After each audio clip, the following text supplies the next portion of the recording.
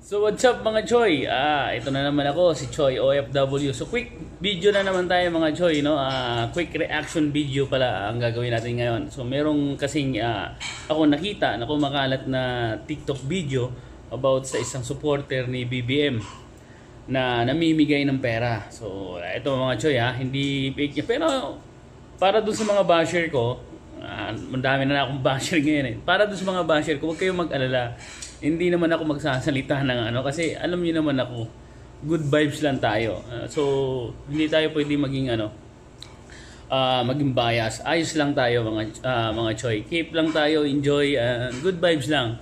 Pero bago lahat panoorin natin yung ano TikTok video na to. Ito Isang babae ang viral ngayon sa social media na nagpakilala na supporter umano ni BBM at namimigay ng pera.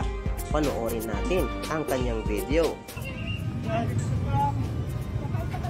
BBM ka ha? Hindi, hindi, hindi ko yan, hindi rin kwarta ni ni BBM. Ako, Ayan. kwarta, galing ko mga pera. pupur siya, magpuling na sa mga ito. Tsaka damit.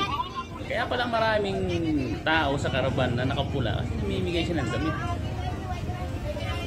Uy, pa yung pera. Ang dami kasi tayong mga kababayan na naghihirap. Kaya talaga tatanggapin nila.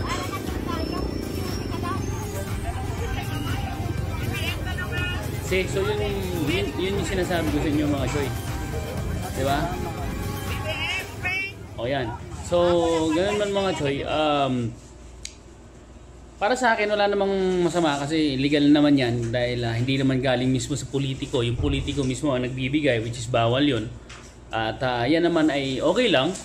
Ah, kaso nga lang yun, nakaka nakakadismaya kasi ba, may mga taong talagang tumatanggap lang ng pera para lang sa ganung bagay.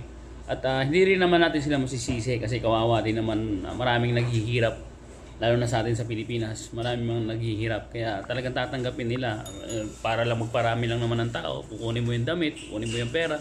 Okay na yon. Again mga choy, wala akong ano diyan, wala akong against diyan.